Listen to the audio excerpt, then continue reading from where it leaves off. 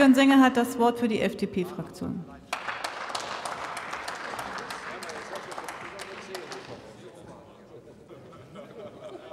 Frau Präsidentin, meine sehr geehrten Damen und Herren!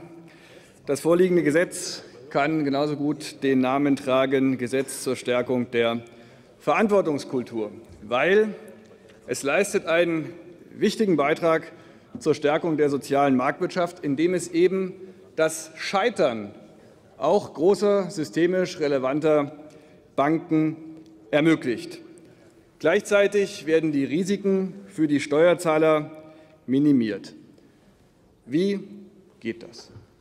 Es sind drei Punkte. Zum Ersten, wir haben ein mehrstufiges Verfahren, es wurde hier schon mehrfach angesprochen, was den Verantwortlichen in den Banken ermöglicht, zunächst auf der Basis der Freiwilligkeit, weil das eben auch zur Verantwortung einer Geschäftsleitung dazugehört, freiwillig einen Sanierungsbeitrag zu leisten. Und es ist vollkommen richtig, Herr Kollege Schick, wir setzen da auf die Freiwilligkeit. Aber wir setzen zweitens hinten beim Thema Haftung einen weiteren Punkt in Richtung Verantwortungskultur, indem wir die Verjährungsfristen entsprechend verlängern.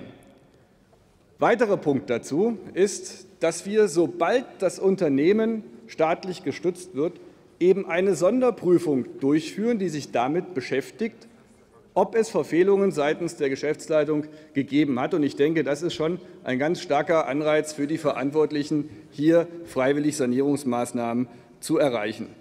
Wir haben als dritten Punkt die Bankenabgabe hier geregelt, um eben die Risiken für die Steuerzahlerinnen und Steuerzahler so weit wie geht zu minimieren. Diese Mittel werden eingesetzt, um das Finanzsystem zu stabilisieren. Da geht es nicht darum, Banken zu stützen. Wenn jemand am Markt gescheitert ist, dann wird er entsprechend auch abgewickelt. Das ermöglicht dieser, dieses Gesetz. Folglich ist es auch nur logisch, dass alle Banken hier auch entsprechend einzahlen. Denn es geht nicht darum, einzelne Banken zu stützen, sondern eben darum, das gesamte System zu stabilisieren. Davon profitieren alle. Die Ausnahmen, die wir gemacht haben, die sind logisch. Da geht es darum, dass Förderbanken, dass die KfW, dass die Landwirtschaftliche Rentenbank im Übrigen auch ähm, hier eben nicht einzahlen, weil diese Banken politisch gewollt Risiken eingehen, die auch vom Staat abgesichert sind. Es hätte überhaupt keinen Sinn gemacht, die einzubeziehen. Fazit.